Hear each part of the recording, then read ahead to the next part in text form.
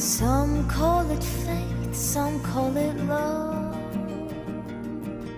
Some call it guidance from above.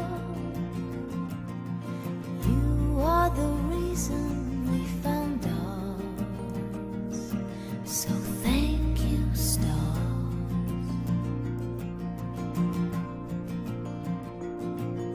Some people think it's far away.